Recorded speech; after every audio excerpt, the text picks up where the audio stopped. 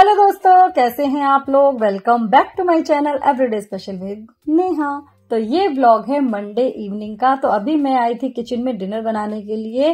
तो आज दो बहुत ही मज़ेदार सी रेसिपी मैं आपके साथ शेयर करने वाली हूँ।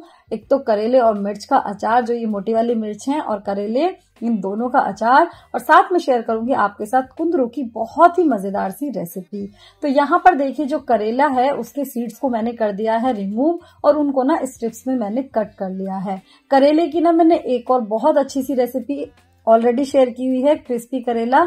अगर आपने वो रेसिपी नहीं देखी तो मैं आई बटन में लिंक दे दूँगी। आप वहाँ पर जाकर उस रेसिपी को भी चेकआउट कर सकते हैं। वो भी बहुत ही टेस्टी बनते हैं।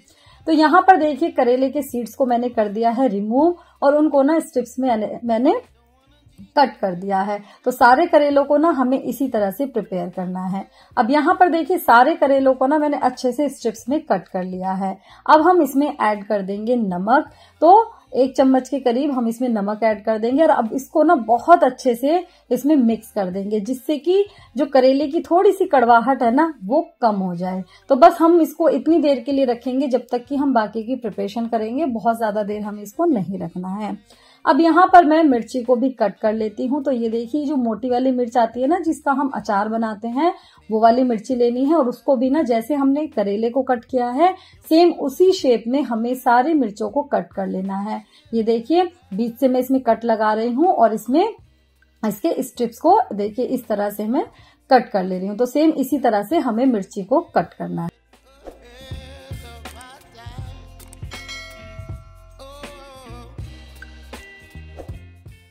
अब यहाँ पर देखिए, मिर्च को भी ना मैंने स्ट्रिप्स में कट कर लिया है। जैसे मैंने करेले को कट किया था सेम उसी शेप में मैंने मिर्च को भी कर लिया है। कट अब इसको मैं एक अलग बर्तन में कर दूँगी ट्रांसफ़र और उसके बाद ले लेंगे कुंदरू, उनको भी कर लेंगे कट क्योंकि जिससे जो चॉपिंग का काम है वो एक ही बारी में फिनिश हो जाए। अब यहाँ पर ये देखिए ले लिया है कुंदरू इसके जो बॉटम पे और टिप पे ना ये ब्लैक ब्लैक पार्ट होता है, इसको रिमूव कर दीजिए और इसको टू पीसेज में कट कर दीजिए। तो देखिए, जैसे मैं कर रही हूँ बॉटम और टिप को कट कर दिया है और इसको टू पीसेज में कर दिया है डिवाइड इसी तरह से हमें सारे कुंदरू को कट कर लेना है। तो ये जो कुंदरू है ना, मैंने कभी भी ना शादी से पहले खाया ही नहीं था। इनफैक्ट मुझे पता ही नहीं था कि कुंदरू होता क्या है। तो ये जो रेसिपी है मेरे ससुराल में फ्रिक्वेंटली बनती है, मेरी मदर इन लो इसको बहुत अच्छे से बनाती हैं।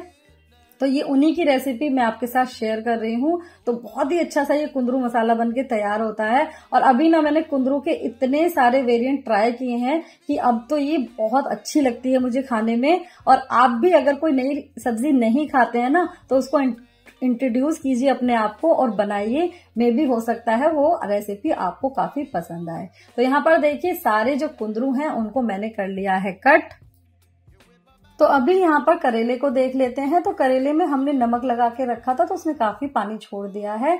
और अभी हम इसमें और पानी ऐड करेंगे और इसको ना बहुत अच्छे से मसल मसल कर हमें वॉश कर लेना है। तो दो तीन पानी से ना इसी तरह से मसल मसल कर हमें इसे वॉश कर लेना है, जिससे कि जो करेले की कड़वाहट है ना, वो काफ़ी हद तक कम हो जाए। अब इसको ना हम अच्छे से निचोड़ लेंगे, ये देखिए, और इसको एक स्ट्रेनर में रख देंगे, जिससे कि इसमें जो भी एक्स्ट्रा पानी होगा ना, वो रिमूव हो जाएगा। तो यहाँ पर देखिए, सारे करेले को निचोड़ कर रख लिया है मैंने। अब ले ली है कढ़ाई, गैस को कर दिया है ऑन, और अभी इसमें ऐड करेंगे मस्टर्ड ऑयल। तो थोड़ा सा ज़्यादा करके मस्टर्ड ऑयल जाता है, क्योंकि इंस्टेंट पिकल बना रहे हैं हम। आप चाहें तो तो ऑयल कम या ज़्यादा कर सकते हैं it's totally up to you तो यहाँ पर देखिए मस्टर्ड ऑयल ले लिया है, जैसे ही ऑयल गर्म हो जाएगा, हम इसमें कुछ नहीं डालेंगे, सीधा डाल देंगे करेले को, और इसको ना हमें शेलो फ्राई करना है अच्छे से। आप चाहें तो इन करेले को डीप फ्राई भी कर सकते हैं बट मैं यहाँ पर इसको शेलो फ्राई कर रही हूँ। इसको अच्छे से चला लेंगे, और इसके बाद ना मैं इसको ढककर लो फ्लेम पर रख दूँगी, जिससे कि ये फ्राई भी हो जाए और थोड़े से सॉफ्ट भी हो जाए।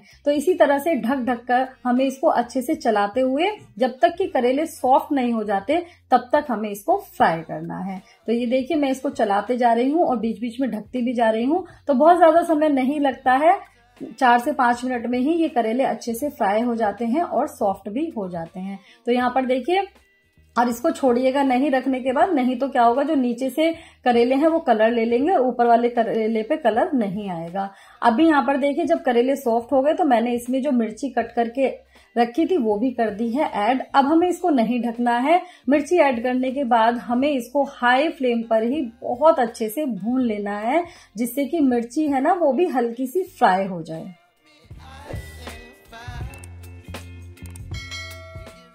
तो मिर्च ऐड करने के बाद ना हमें इसको बहुत ज़्यादा देर फ्राई नहीं करना है, बस एक मिनट के लिए ही हमें इसको करना है फ्राई।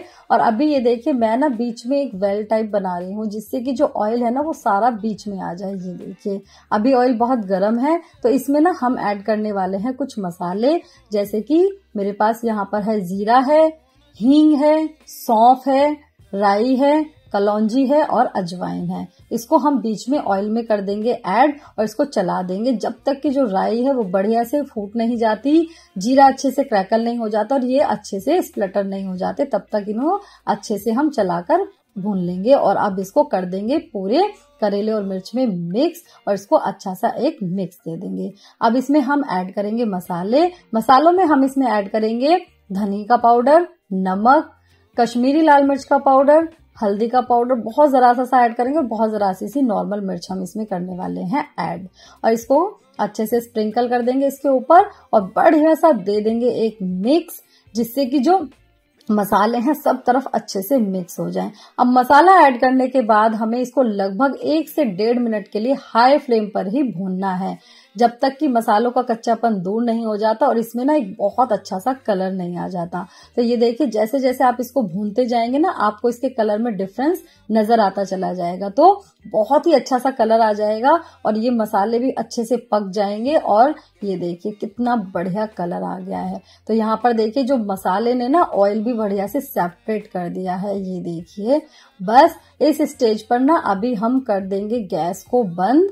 और इसको अच्छे से एक मिक्स और देंगे और फिर हम इसमें ऐड करेंगे नींबू का रस। तो यहाँ पर मैं आधा नींबू ले रही हूँ, आधे नींबू का रस कर दूँगी इसमें ऐड इससे बहुत अच्छी सी खटास मिलेगी इस अचार को और बहुत ही अच्छा फ्लेवर आएगा। और जो करेले है ना, आपको पता भी नहीं चलेगा कि ये करेले और मिर्च का अचार है। इतना टेस्टी अचार ये बन के तैयार हुआ था। अब दे देंगे एक बढ़िया सा मिक्स जिससे कि जो हमने नींबू का रस ऐड किया है, वो सब तरफ़ से ना अच्छे से मिक्स हो जाए। और ये देखिए रेडी हो गया है हमारा करेले और मिर्च का इंस्टेंट अचार। आप इसको ट्रैवलिंग में भी लेके जा सकते हैं, अपने साथ बहुत ही टेस्टी लगता है। और बनाकर रख दीजिए, पराठों के साथ, रोटी के साथ एंजॉय कीजिए इसको। तो अभी बढ़ते हैं अपनी नेक्स्ट रेसिपी की तरफ़। अब यहाँ पर मैंने वही सेम कढ़ाई ले ली है जिसमें मैंने अभी करेले और मिर्च का अचार बनाया था। तो उसी कढ़ाई में मैं ऐड कर दूँगी दो बड़े चम्मच सरसों का तेल। तो अगेन, तेल आप कम या ज़्यादा अपने टेस्ट के अकॉर्डिंग ऐड कर सकते हैं। और ये जो जितना भी मसाला इसकी साइड पे चिपका हुआ है ना, सब मैं तेल के अंदर ऐड कर दूँगी। जैसे ही तेल गर्म हो जाएगा, हम इसमें ऐड कर देंगे कुंदरू। तो अभी हमने कोई नया मसाला इसमें ऐड नहीं किया है, बस जस्ट हमने ऑयल को गर्म करके इसमें ऐड कर दिए हैं कुंदरू। और इसको अच्छे से चला देंगे एक बार, जिससे कि जो ऑयल है सारे कुंदरू के ऊपर अच्छे से आ जाए और बस फिर इसको ना ढककर रख देंगे लो फ्लेम पर जब तक कि ये सॉफ्ट कुक नहीं हो जाते। और यहाँ पर मैंने चार हरी मिर्च को बीस से स्लिट करके कर दिया है ऐड। और यहाँ पर मीन मैंने आटा भी लगा दिया था, क्योंकि डिनर बना रही हूँ। तो अभी यहाँ पर देखिए बीच बीच में ना इसको अब ढक ढक कर हमें चलाते जाना है, पकाते जाना है, जब तक कि ये सॉफ्ट कुक नहीं हो जाते तो दो से तीन बार आप इसको चला दीजिए और ढक दीजिए, क्योंकि ये थोड़े से पके हुए कुंदरू हैं तो इसलिए इसको थोड़ा सा टाइम ज़्यादा लग रहा है। अदरवाइज़ जो सॉफ्ट आते हैं फ्रेश आते हैं, वो फटाफट से सॉफ्ट कुक हो जाते हैं। तो अभी देखिए मैं इसको चलाते जा रही हूँ, ढकते जा रही हूँ और जैसे ही ये सॉफ्ट हो जाएँगे तो हमें इनको 90 परसेंट तक सॉफ्ट कुक करना है, पूरा 100 परसेंट नहीं करना है। तो अभी देखिए यहाँ पर ना ये 90 परसेंट तक सॉफ्ट कुक हो चुके हैं। अभी पूरी तरीके से कट नहीं गए हैं, लेकिन ये सॉफ्ट हो चुके हैं। तो अभी ना बीच में मैं वेल बना दूँगी। जैसे अभी मैं करेले में बनाया था ना तो सेम इसी तरह से इसमें भी बीच में एक वेल बना दूँगी, जिससे कि जो सारा ऑयल है ना वो बीच में आकर इकट्ठा हो जाए। और अभी मैं इसमें ऐड कर दूँगी वन फोर टी स्पून हींग।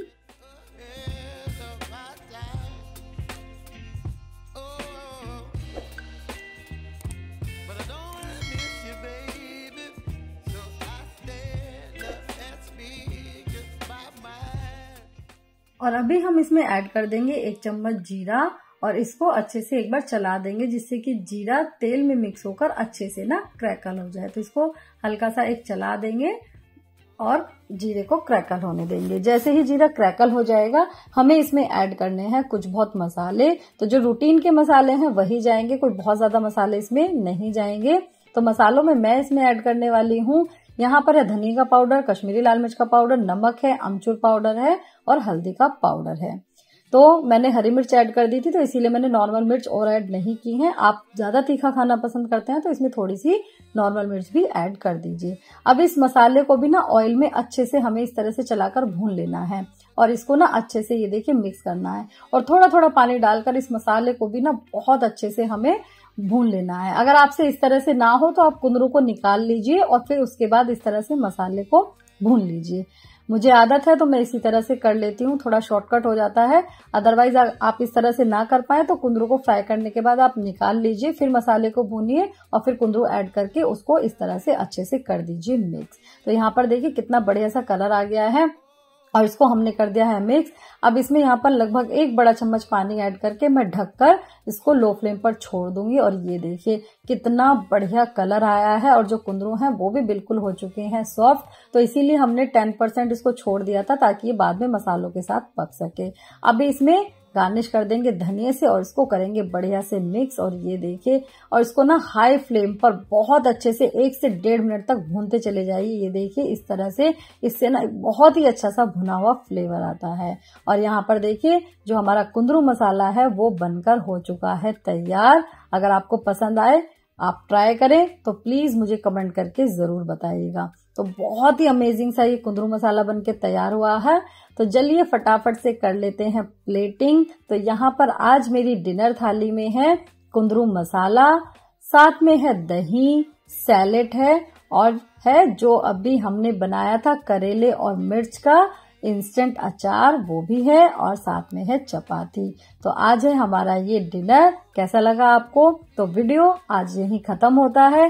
वीडियो थोड़ा भी पसंद आया हो तो वीडियो को लाइक कीजिए, शेयर कीजिए, चैनल पर नए हैं तो सब्सक्राइब करना ना भूलें। साथ ही बेल आइकन को प्रेस कर दें जिससे मेरी न्यू वीडियोस की नोटिफिकेशन आप तक सबसे पहले पहुँचे। तो मैं मिलती हूँ आपसे नेक्स्ट ब्लॉग में। Till then bye stay happy always